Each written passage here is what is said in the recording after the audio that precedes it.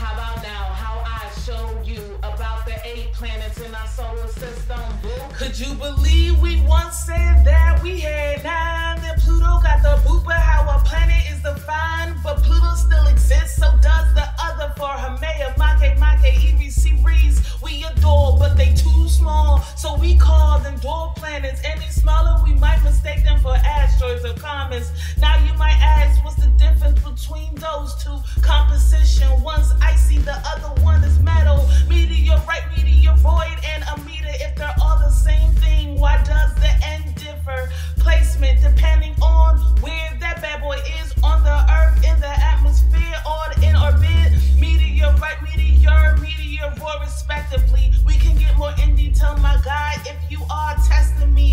small bodies of the solar system. Pull one out, let's never forget about How about this? How about now? How I showed you about the eight planets in our solar system, boo. How about this? How about now? How I showed you about the eight planets in our solar system, boo. Terrestrial, I ain't messing with you. You go too hard. The four closest planets to the sun, and they're small. My God, from closest to the sun to which one is far? We have Mercury, Venus, Earth,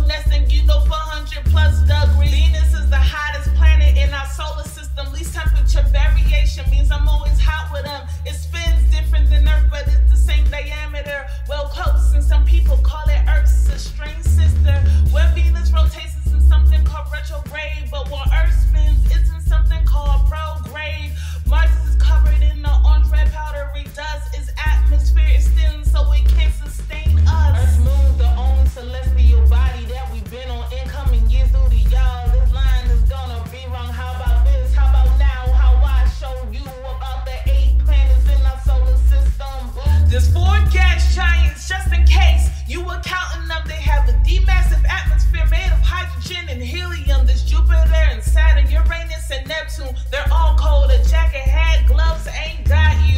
Jupiter is the largest planet in our solar system, having 79 moons, having one Johnson special. It has huge storms that travel across the surface. It's so icy.